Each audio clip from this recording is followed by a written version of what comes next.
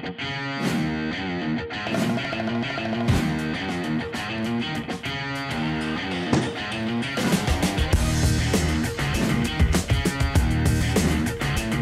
guys, I'm Dean. Welcome to the Barbershop Dale Seat. Today I'm going to go through a few tips on how to shave. When we're practicing, when we're training, this is how we do it. We're going to go across the balloon, stretching every time we do it. Next, we're going to put your skills to the test with a couple of challenges.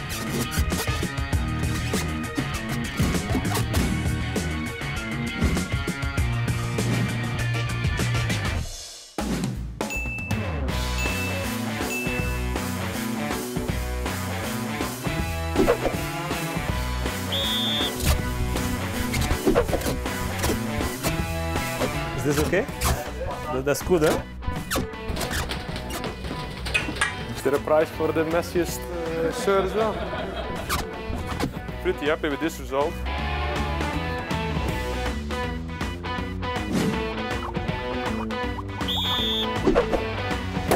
Oh. Oh, man. Tja. Nice and smooth. Don't hurt your customer, man. Hey. Hey, hey, hey, regard, regard. Look. Hey. I'm done. I don't have any customers no more.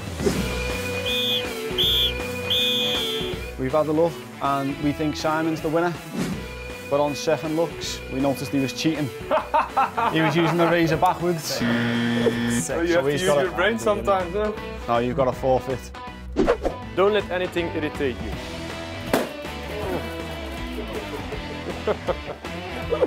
Oh.